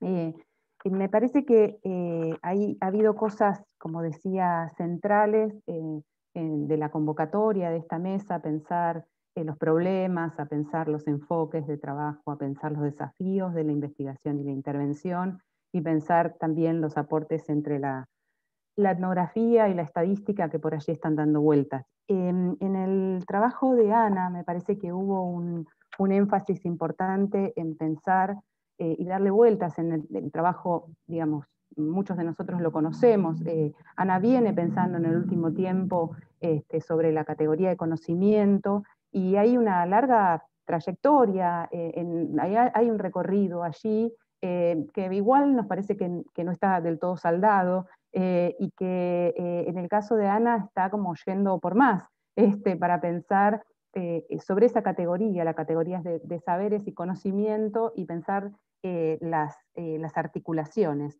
pensar las formas de legitimación, pensar las formas de construcción de saber y pensar el lugar de las instituciones educativas y del Estado en esos procesos.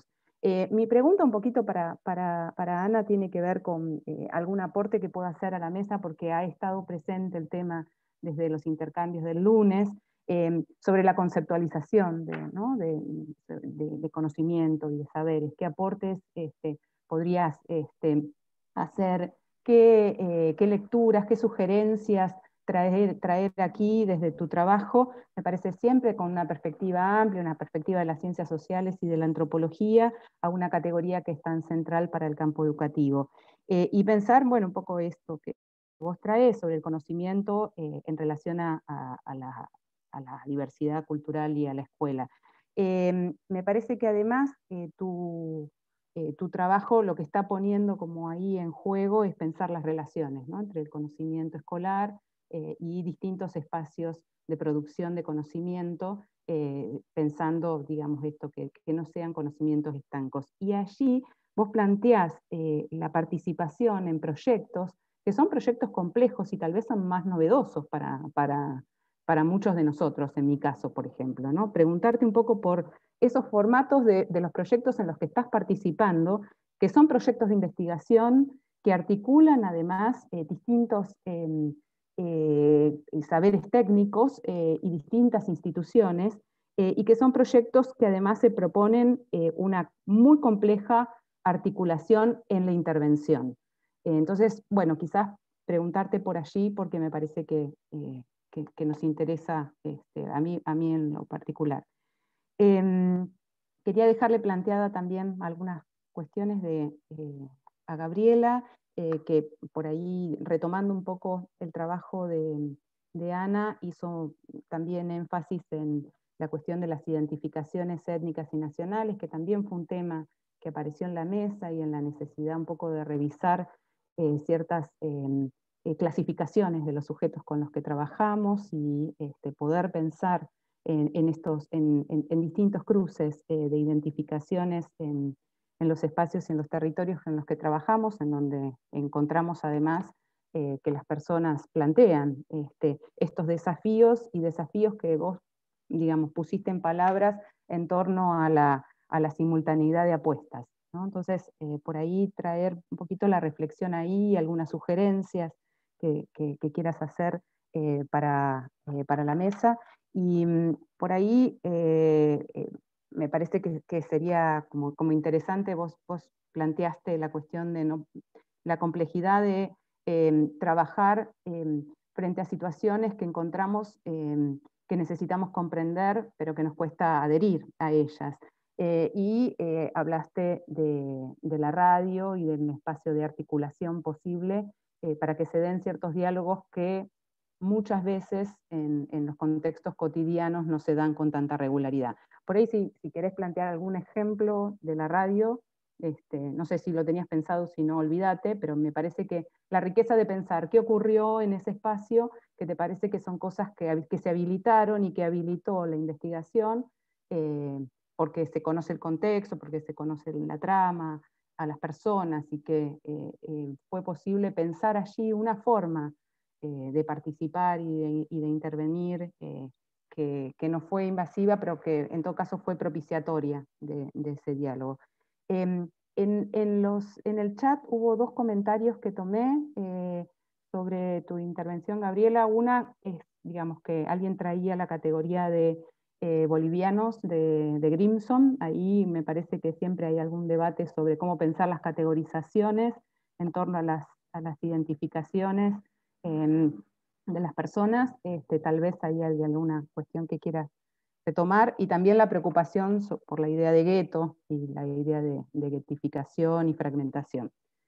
Eh, en relación a, la participación de Melina, me parece que eh, Melina trae algo que, para todos nosotros también es, como un, tema muy eh, difícil, complejo y poco explorado, que es cómo, cómo, investigar con, la población en, la primera etapa de la niñez.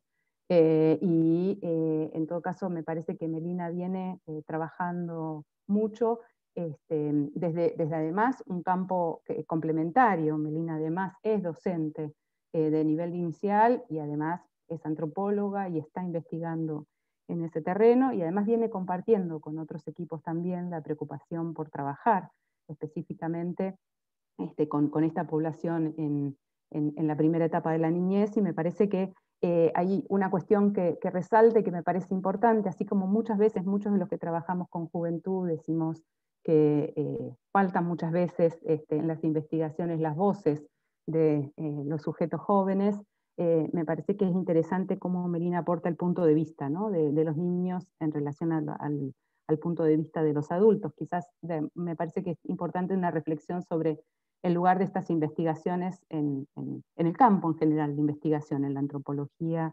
y en las ciencias sociales. Y me parece que traía también este, la, dificultad y los desafíos que la investigación presenta este, para acompañar, en este caso, a la población de, niños en, la primera etapa de la niñez en distintos espacios. ¿no? Es todo un desafío enorme poder pensar una, etnografía, una investigación etnográfica que eh, los acompañe en distintos recorridos. Este, así que me parece que el, trabajo de Melina aporta en herramientas, en reflexiones, en estrategias. Em, y, en relación al, trabajo de, Cecilia Sleiman, allí eh, me parece que hay una pregunta sobre el acceso a, los datos que, traía Cecilia. Eh, bueno, por ahí Cecilia tal vez siguió el intercambio por el, por el chat. Eh, creo que hay un informe muy, muy lindo, elaborado este, por, por, Cecilia y, el resto del equipo sobre este, la modalidad de, de IB que me parece que hace un cruce, este contrapunto que ella plantea entre cierta desarticulación eh, entre los sistemas de información eh, y cómo, digamos, hay fuentes de información como el censo que nos, eh, que relevan y, permiten este, pensar en un, en un mapeo de la situación educativa de la población que se reconoce indígena o descendiente, y, digamos, cierta desarticulación con los sistemas de información Em, del sistema educativo.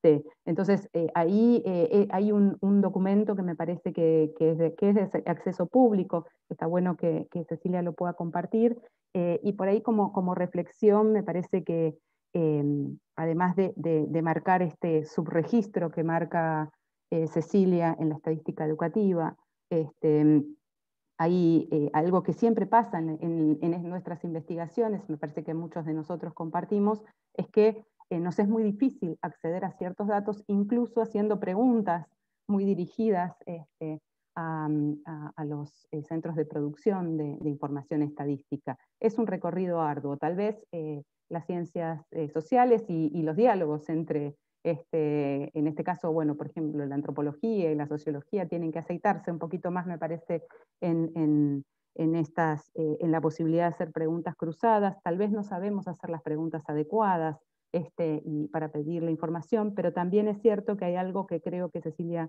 mencionaba como ciertas clasificaciones indeterminadas este, que aparecen siendo una información sobre lo que no, no se ha producido informes, este, y que son como áreas este, aún de vacancia en la investigación estadística. Em, así que, eh, bueno, eh, estas son cuestiones, y la, última cuestión, solamente por, cuestiones que me quedaron este, como reflejos de alguna vez allá, por hace muchísimos años que participé en un espacio de gestión educativa, y era eh, la atención que tenían los ministerios, las gestiones Em, provinciales y nacionales en torno a estas temáticas, en donde se planteaban una pregunta que para mí es una pregunta, una falsa dicotomía, pero hay que dejarla, digamos, hay, que plantearla, es la tensión entre la marcación y la invisibilización. ¿no? Las escuelas se planteaban que preguntar sobre ciertas cosas este, y, señalar ciertas cosas en los registros de las escuelas este, podía tener un efecto este, eh, demarcatorio este, eh, que, fuera nocivo en todo caso para la población, eh, y que ahí faltaba cierta reflexión sobre la necesidad de, visibilizar y de reconocer situaciones para pensar las políticas. Lo último es, eh, Cecilia mencionó algo sobre el censo y las preguntas del censo. Me parece que en esta mesa hay personas que, seguramente participan de, ese espacio. No sé por qué me parece que Carolina por allí, así que tal vez en algún momento puedan compartir algo sobre eso. Eh, si les parece, podemos hacer, volver a darles la palabra a las expositoras eh, y también quien quiera pueda pedir la palabra para hacer preguntas.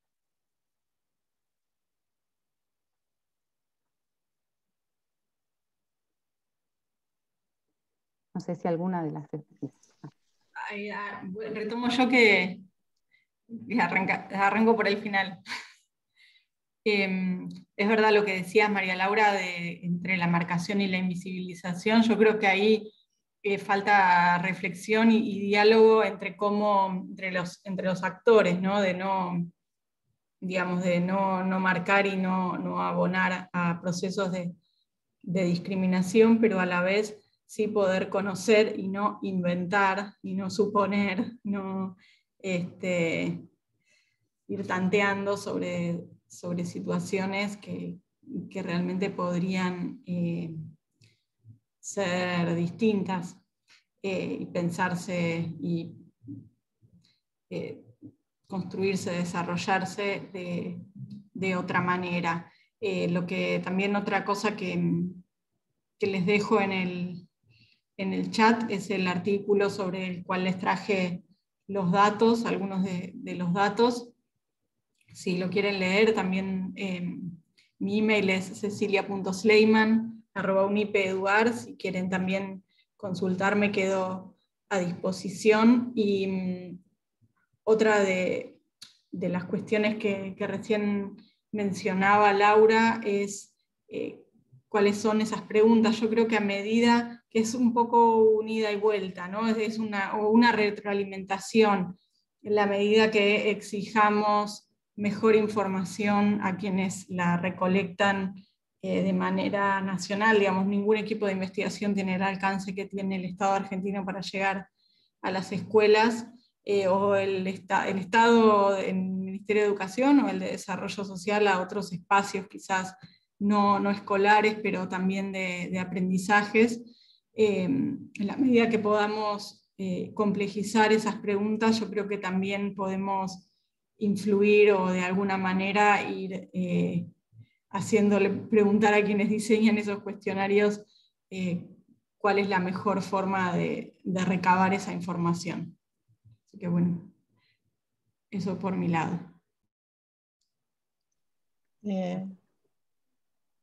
Bueno, si, quieren, este, también para un poco eh, entrar en diálogo con lo que planteaba recién Cecilia, si bien vos no, escuchaste las exposiciones, así que un poco estás a, ciegas en eso, eh, desde nuestra experiencia de investigación en, misiones y en la fase que tiene que ver sobre todo con las poblaciones vía guaraní, nosotros, y también con, los, colectivos rurales, trabajamos mucho con, información estadística, tanto del de INDEC como como la ECPI o, del Ministerio de Educación Nacional, este, o el Censo Nacional Agropecuario, y, realmente hay como inconsistencias y subregistros que, que me parece que, son cuestiones que hacen también muy difícil el diálogo entre la etnografía y otro tipo de enfoques, porque realmente uno no puede hacer coincidir los números y es un desafío muy grande y es, y es muy necesario. Nosotros igualmente seguimos haciendo ese tipo de cruces. Eh, en relación a lo que planteaba, mm, eh, por ahí interrogantes que, planteaba María Laura y, también un poco escuchando lo que presentaron este, Gabriela y Melina, yo creo que eh, algo que atravesó todas las presentaciones tiene que ver con cómo el diálogo que establecemos desde la investigación con distintos actores, distintos colectivos, es lo que permite producir conocimiento sobre algo y ese algo eh, eh, eh, es mucho más complejo cuando los propios interlocutores están interesados en producir conocimiento sobre eso, porque nos trae o intervenciones, porque eso es lo que nos trae nuevas preguntas, nuevas facetas, mejor vínculo. y también a partir de la creación de esos vínculos, de, sostener esos vínculos en el tiempo, eh, en nuestro caso venimos trabajando en la provincia de Misiones hace más de 10 años, por ejemplo, es lo que permite de alguna manera eh, entrar a discutir eh, estos problemas tan complejos de las jerarquías y del poder y de la, la legitimidad en la producción de conocimiento a partir de ese vínculo más permanente. esa permanencia es la que también permite detectar estas redes, en, mi caso, digamos, sobre el cultivo de mandioca, redes sociotécnicas que producen conocimiento, que no aparecen a simple vista, no están sistematizadas, eh, que incluyen al Estado, a las universidades, a las organizaciones, a las comunidades. Un poco la pregunta que hacía María Laura, estos proyectos interdisciplinarios en los que venimos trabajando eh, tienen financiamiento del, eh, del MINCIT, o han tenido en distintos momentos del MINCIT, de una convocatoria de tecnología e inclusión social, o el voluntariado universitario de, la Secretaría de Políticas Universitarias del Ministerio de Educación, o de las propias universidades que tienen proyectos de desarrollo estratégico. Eh, lo que nos sucede es que son proyectos que tienen poco financiamiento, entonces los vamos amalgamando y continuando en un financiamiento y en otro y en otro y en otro. Por ejemplo, eh, esas fotos que les mostré de estos desarrollos que estamos haciendo con la Facultad de Ingeniería para el diseño de una prensa y una secadora para una cooperativa o para los bioplásticos con otra cooperativa son financiamientos con los cuales vamos comprando una parte de los materiales, otra parte de los materiales, y eso también lo hace bastante engorroso y a veces dificulta, eh, digamos, trae algunas tensiones con las cooperativas que, demandan la tecnología porque los, proyectos llevan mucho más tiempo del que se había pensado. Eh, esta, también me parece que es importante enfatizar esta cuestión de, la continuidad en los vínculos, que tiene mucho que ver con el enfoque etnográfico, porque, como yo les planteaba antes, es lo que permite eh, detectar y trabajar sobre las controversias y las tensiones en la producción misma de conocimiento. Es decir, discutir estas cajas negras, estas cajas negras, los que ya se sabe sobre algo, sobre cómo funciona algo, sobre cómo es algo, cómo es el vínculo de tal colectivo con el Estado, cómo es este, la producción agrícola de tal cosa, cómo es la escuela en tal lugar. Este, las controversias este, muchas veces están acalladas por estas, por estas diferencias o estas desigualdades, por quienes tienen un saber reconocido y quienes no. Y eh, eh, el trabajo prolongado y la interlocución con justamente actores que tienen lugares muy desiguales eh, es lo que permite de alguna manera que algunos actores se pongan a pensar en lo que daban como por natural. ¿no? Eh, me parece que, las ciencias sociales, pero también las ciencias este, tradicionalmente definidas como duras, asumen la provisionalidad del conocimiento, pero eso entra en tensión con el conocimiento de sentido común que tiene que dar como por sentadas ciertas cosas. Entonces, eh, a veces eh, cuando aparecen estas controversias producen también mucha inestabilidad y temor, porque bueno, ahora lo estamos viendo con estos procesos de la pandemia y de las vacunas, este, todos necesitamos tener ciertas certezas y entonces cuando se empiezan a discutir las cosas eh, no, es fácil transitar eso. Eh, y ahí, bueno, me parece que la discusión este, que, la antropología de la educación y la antropología de la técnica eh, vienen dando en diálogo sobre todo bueno, con la psicología, con, lo que se llaman las, ciencias de la educación, sobre qué es el conocimiento, cómo se relaciona el conocimiento práctico y el conocimiento teórico. Eh, tienen mucho para decir. Eh, ahí por ahí también, como, decía Cecilia, los invito a que, busquen, digamos, en, no sé, en el perfil de CONICET, por ejemplo, están todas las publicaciones que, que vengo haciendo yo, la gente del equipo que las pueden mirar o buscar, porque hay muchas que están en acceso libre. Hace poco publicamos en, la Facultad de Filosofía y Letras de la UBA que está eh, disponible para bajar gratuitamente un libro que se llama El Mundo Rural y sus técnicas, donde convocamos a investigadores, investigadoras de distintas disciplinas que tratan de, trabajar con distintos eh, espacios del país donde se produce conocimiento eh, sobre la agricultura para discutir esta, idea también como muy extendida en el sentido común, que el campo es el lugar del atraso y los espacios urbanos son donde se produce el conocimiento que llega a esos lugares. Em, hay varios conceptos, eh, María Laura me planteaba digamos, algunas definiciones teóricas, varios conceptos que, con los que venimos trabajando, y además de los que ya mencioné, que tienen que ver con la idea, de, por ejemplo, de comunidad de práctica, eh, que es un, concepto que, desarrolló una antropóloga norteamericana que se llama Jean Leib hace tiempo, que eh, parte de, obviamente de una discusión a la noción de comunidad este, armónica em, y homogénea que la antropología tenía a, principios del siglo XX. Y la idea es que eh, el conocimiento siempre se produce en el hacer, y que siempre en el hacer, en cualquier que hacer, hay producción de conocimiento. Entonces, eh, es muy interesante si por ahí siguen esa línea, porque eh, con este concepto de comunidad de práctica se trabajan espacios totalmente heterogéneos, como pueden ser las escuelas, el tejido entelar o eh, el diseño de este, programas de computación, es decir, espacios de producción de conocimiento muy abstractos y espacios de, producción de conocimiento muy artesanales con los mismos instrumentos conceptuales. Entonces, esos instrumentos conceptuales hay muchos, por eso les decía por ahí, eh, si, buscan los textos es más fácil, eh, van a, me parece que son los que permiten este, poner en debate la noción de conocimientos de otro lugar y yo creo que para la gente, no sé cuántos de los que están participando de este foro eh, tienen intervención directa en las escuelas, pero me parece que es una discusión clave porque la escuela misma replica estas decisiones entre los espacios teóricos y los espacios prácticos, por ejemplo, eh, cuando con mucho esfuerzo se organizan huertas o se organizan actividades como si se quiere más activas y que a veces cuesta o aparecen escindidas de los espacios de formulación más teórica como son el espacio de ciencias naturales, por ejemplo. Entonces estos cruces este, son muy difíciles de hacer, pero bueno, estos textos dan como algunas orientaciones teóricas. Bueno, gracias. Gracias. Ahí está Gabriel. Sí, eh, a ver, yo quería hacer algún comentario que espero que no haga mucho ruido con, las dos personas, con Ana este, y con Cecilia.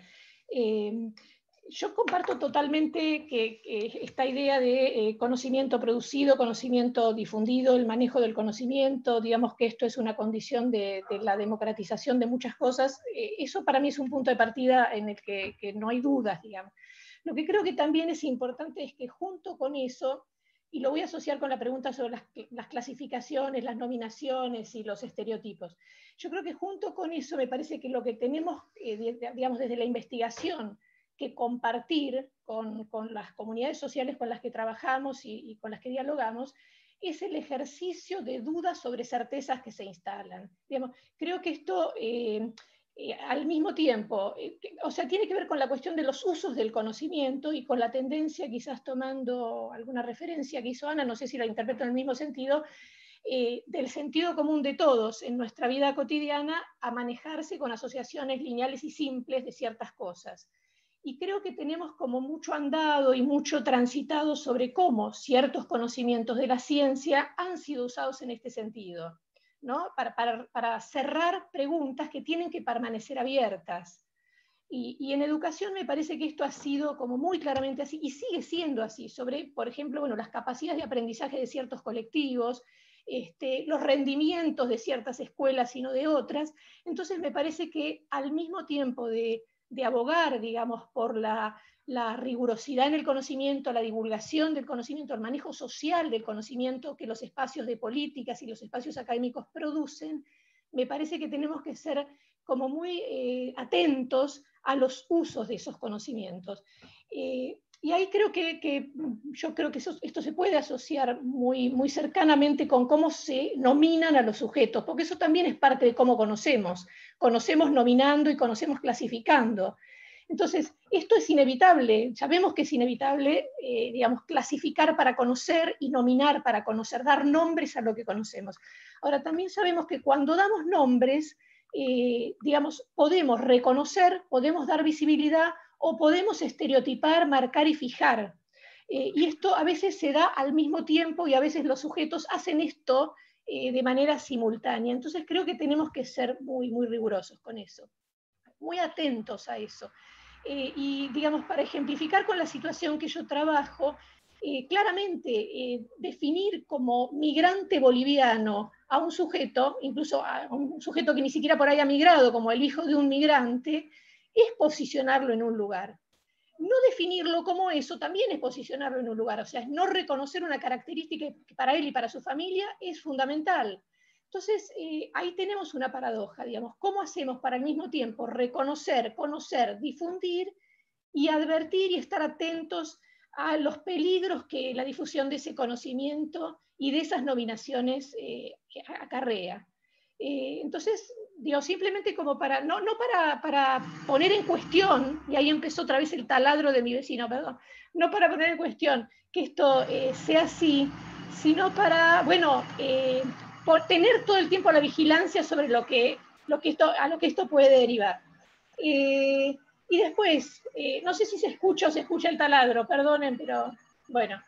Eh, después, digamos, con respecto a los encapsulamientos, digamos, creo que en todo caso el encapsulamiento muchas veces es un lugar donde el, el Estado o el discurso dominante pone a los otros pero a veces también hay mucho que escuchar sobre cómo, ahí el, término encapsulamiento tiene mucha connotación negativa, pero sí creo la afirmación de un lazo eh, comunitario eh, entre un grupo que ha sido desvalorizado, discriminado, subalternizado, etcétera, es una forma de fortalecimiento y de discutir y reivindicar derechos. Entonces, eh, estas cuestiones me parece que tienen siempre dos caras, digamos, y que tenemos que poder mirar esas dos caras.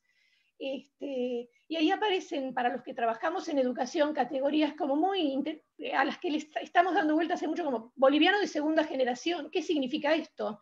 Digamos, esto para el Estado no existe como una categoría. Es boliviano es argentino, y sin embargo para el colectivo boliviano definen a sus hijos nacidos y criados en Argentina como bolivianos de segunda generación. ¿Cómo pensamos eso? Eso es un mote que discrimina, eso es la reivindicación del derecho del colectivo por seguir siendo, eh, y bueno, es las mismas cosas, es las dos cosas al mismo tiempo. Eh, bueno, no, esto, digamos, después las otras cuestiones por ahí. Me parece que la discusión sobre el conocimiento y el uso es como muy interesante para dar en una mesa sobre investigación, intervención, etcétera. Gracias.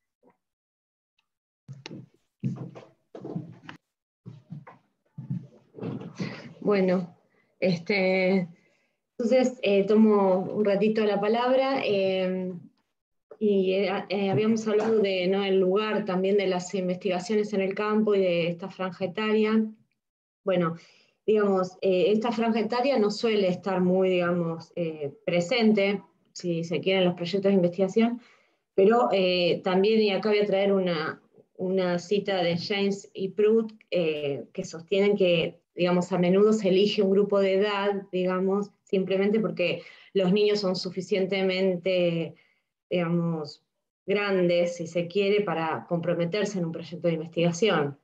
Eh, pero también quiero destacar que eh, hay una creciente producción antropológica latinoamericana eh, que aborda, que fue abordando ¿no? de modo sistemático y, a la niñez y también atendiendo a este carácter, digamos, diverso y relacional.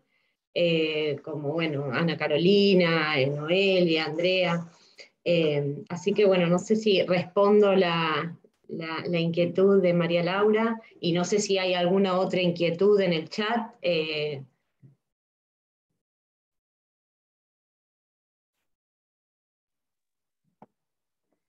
Eh. Eh, a ver, no encontré otras inquietudes específicas, pero sobre, sobre lo que estás comentando, me parece que, está muy bien lo que, lo que marcás sobre la trayectoria que no es tan larga, pero que ya tiene una historia importante para, para ser eh, documentada, eh, que, es documentada y que está bien para este, que la revisemos sobre las producciones eh, con, niños eh, y niñas. Em, hay, alguna intervención por allí, solamente que no quiero que pase de largo, que es alguien que pregunta, este, que pide, digamos, algunas referencias, Raúl, Raúl Vanegas, em, sobre investigaciones sobre jóvenes indígenas y universidad pública, que hay, hay, hay varias líneas de trabajo, de hecho, eh, se presentó en, la jornada del lunes, este, me parece que Álvaro eh, Guaymas mm, presentó como, digamos, ahí bastante este trabajo y referencia, el trabajo también de Gloria, el trabajo que em, por ahí mañana alguna referencia hará también Daniel Matos, este, hay, hay otras compañeras este, que vienen trabajando en la temática, em, Macarena, eh, Así que en, todo caso podemos generar, si quieren, algún intercambio después vía, vía correo, si quiere eh, Raúl dejar ahí en el chat también el correo, este, como para seguir eh, el intercambio. Em, me parece que alguien había levantado la mano antes y quería hacer alguna intervención, todavía tenemos unos poquitos minutos, eh, si quieren. No, no, no, Mónica se arrepintió, ya está. Bien. Laura, vos eh, había visto un, comentario de Osvaldo sobre el porcentaje de maestros indígenas y cómo, había variado, pero es un, comentario, digamos, que entiendo que alude a los documentos de los que estaba hablando Cecilia, eh, así que eso también está ahí marcado como un comentario. Osvaldo, ¿querés, querés comentarlo?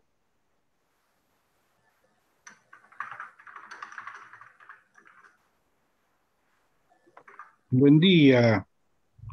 Un, placer, un, honor compartir con ustedes estas jornadas. Las vengo siguiendo desde el lunes. Ayer falté, pero eh, me pareció interesante, bueno, todo lo que venimos escuchando y compartiendo es sumamente significativo, oportuno, valioso.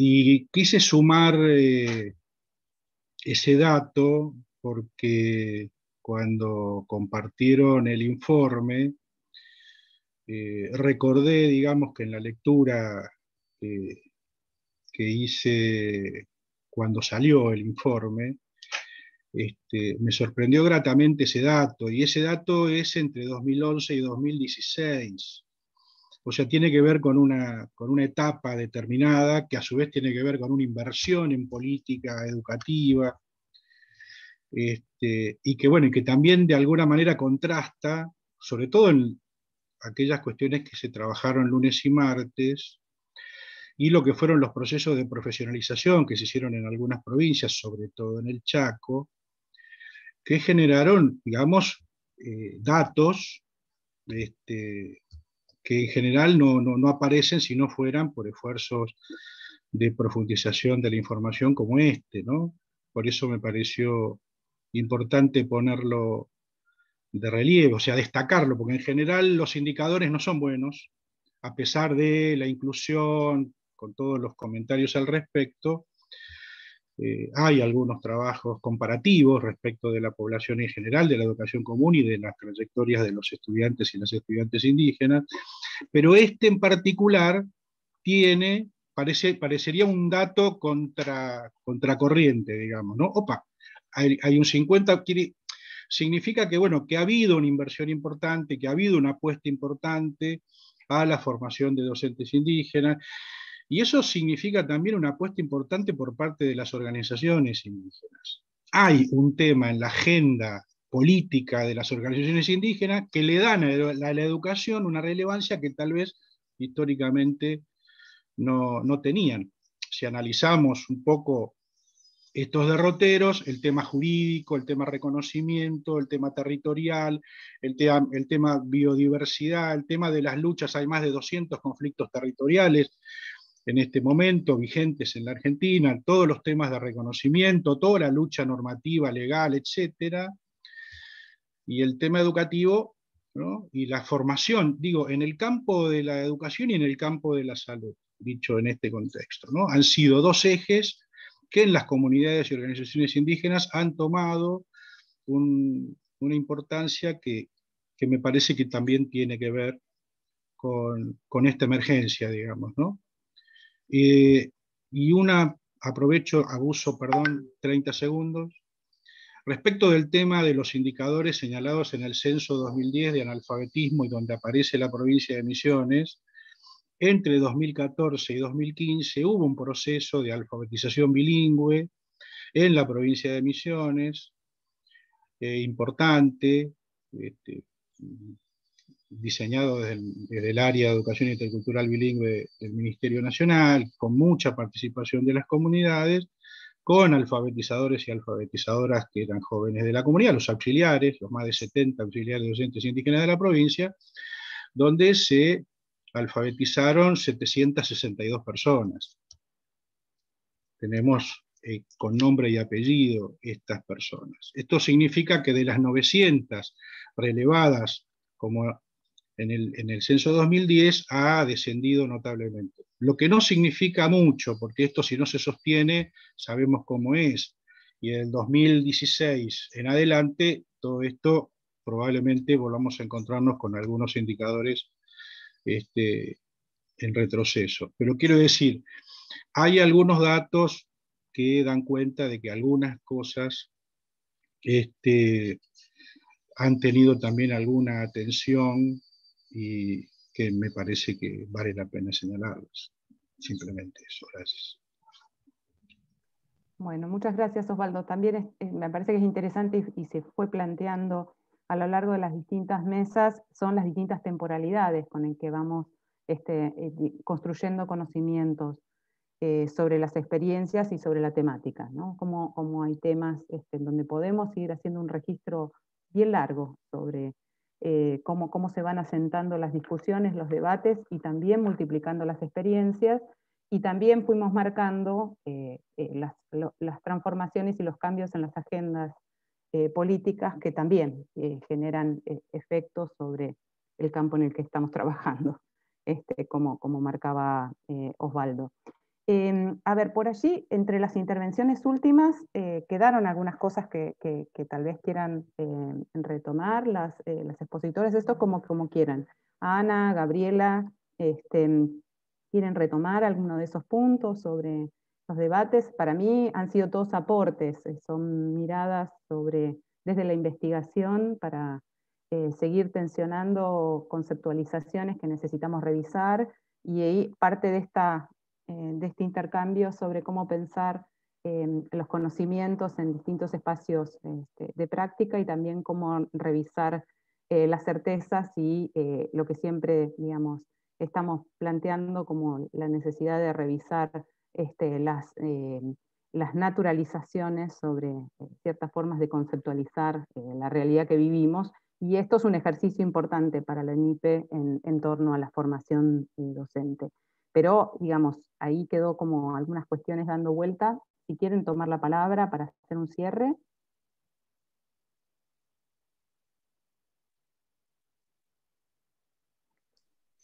en mi caso simplemente este, agradecer eh, el espacio para compartir lo que venimos haciendo este, y, ofrecer, digamos, que los que les haya interesado para también pensar otros procesos tal vez eh, de conocimiento en, otras regiones del país. También es interesante establecer ese diálogo, digamos, así como, como la mandioca es un cultivo emblemático, entre otros, en, el NEA y en Misiones en particular.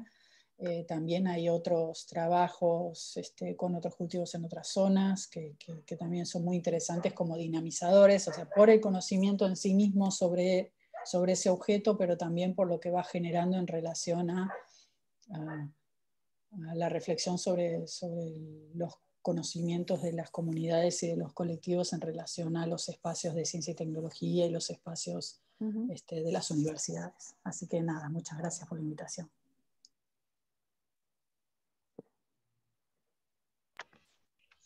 también agradecer y, bueno, y haber esperado poder compartir preguntas sobre todo, ¿no? Poder, eh, preguntas sobre, sobre eh, resultados y preguntas sobre cómo usar esos, esos resultados siempre parciales de las cosas que vamos indagando eh, y cómo, cómo hacer de, eso un insumo para, para, otras formas también de relación. Este, y en ese sentido también plantear ahí bueno, cierta eh, incomodidad con los propios recorridos y la forma en que los transitamos, pero al mismo tiempo saber que, que, bueno, que eso propicia otras formas de, encontrarse. Así que bueno, gracias y me parece, felicito por el espacio, me parece una, iniciativa buenísima de la UNIPE, haber empezado el año por lo menos académico con este tipo de, de propuestas. Bueno, sí, también agradecer, este, agradecer el espacio, agradecer la organización em, y, también esta posibilidad de, poner, de, seguir aprendiendo, ¿no? De Ana, de Gabriela, de, María Laura, de las preguntas que hacen, que se van haciendo, las inquietudes. Eh, porque también con, con, esto que decía Gabriela del ejercicio de cuestionar las certezas, ¿no? uno sabe que las debe cuestionar, pero ese ejercicio continuo, digamos, es el que a veces, y esto también lo pienso respecto de lo que, de lo que se piensa de los niños desde el sentido común, ¿no? De qué pueden y qué no pueden, digamos, eh, respecto de mi investigación, ¿no? Muchas veces este, se toma como, digamos, eh, sí, la agencia de los niños, se habla de la agencia de los niños, pero a veces en, en las investigaciones, depende de qué edad aparecen o no, tienen más o menos agencia, pareciera, ¿no? Según la edad. Entonces, también esto para seguir cuestionando, o por lo menos a mí me sirve para, para seguir ampliando conocimiento. Muchísimas gracias por todo.